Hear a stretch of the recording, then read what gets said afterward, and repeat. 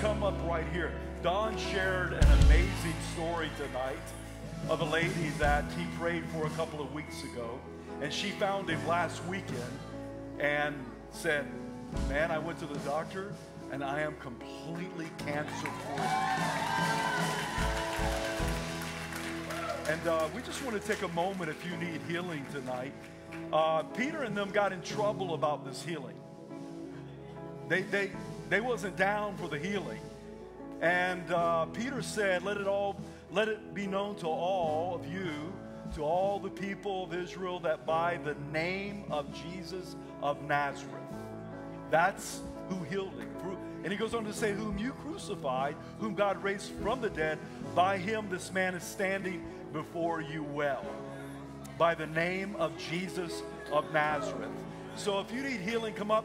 Uh, Don, uh, altar workers, would you come up, lay hands on different folks, and let's believe, grab oil. Come on, we don't have to have a plan. Just pray for people. Lay hands on them and pray for people. Come on, if you, come on, pray. Stephen, come on up. Pray for people. If you're on the staff, come on, if you're an elder, eh, hey, you got, hey, pray for people. Let's pray for healing right now.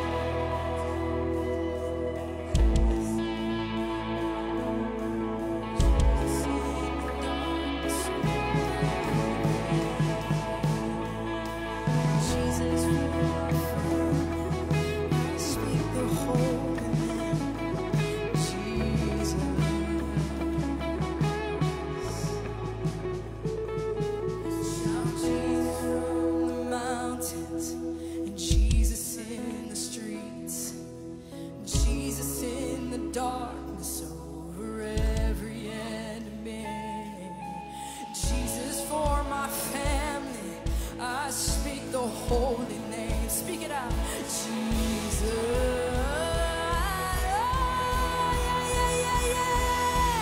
Shout Jesus from the mountains and Jesus is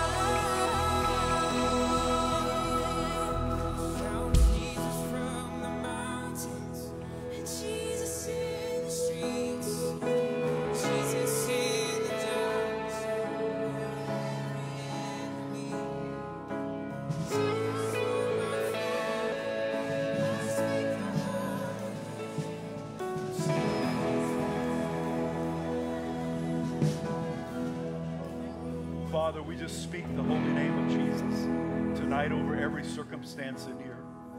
We thank you, Jesus, that you are a very present help in trouble. We thank you in the name of Jesus. In just that name, you raise the dead, you heal the sick, you open blind eyes. Father, you, you heal those who have mental disorders or emotional baggage or pain whatever it may be.